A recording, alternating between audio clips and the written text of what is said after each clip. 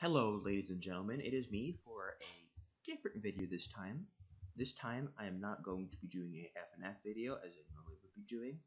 This time, I'm going to be showing off a uh, Hypixel Skyblock video on a quick way to make some money for late to endgame players. This is probably best for late, as endgame players probably have much more uh, time and, well, not time, but uh, money, and different ways they can do it but the first way, this takes around two hours to do. You need uh, pretty much maxed out Hoe. That's what I use. Uh, and a Elite Level 93 Elephant Pet. I know that costs a lot of money. That's why I said it's for late to end game players because at that point you would have around that amount of money. Um, pretty much what it is is you farm sugarcane for two hours, and then you get 23, 24, depending on your farming level, enchanted sugarcane, and then you sell that for like 1.4 or 1.5 million coins, depending on the price in the bazaar. This does, however, require a lot of time, two hours, as I said, uh, and a lot of patience.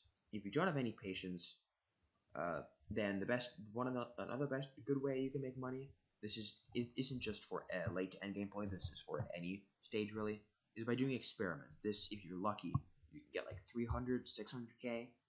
Um, and the farming uh, tactic is best for if you want a steady stream of money. Uh, if you just don't care, like one time you get like 60k from experiments, for example, the next time you get like 300k. Then experiments or dungeons is the best.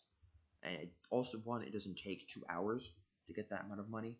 But also it, uh, but some cons is you could get extremely unlucky, and for dungeons you pretty much need to get S plus runs or S runs or A to S plus runs to to be able to in fact get some uh, good money from this. Or you could also do minions, but we're talking about uh, something else that you can do multiple times in one day. And if you have enough money, you can like reset it after doing the um, the experiments uh, experiments take around like six minutes to do if you know what to do. Chronomatron only need to get to a chain of 12, and Ultra Sequencer you need to get a chain of 9, and then you can play super pairs, and then um, you just get whatever, how much money you get from that. Uh, so if you guys want me to make a, a money game for uh, specifically late game, uh, mid game, uh, or early game, unfortunately I cannot do end game as I am not there yet. I am considered uh, uh, late game.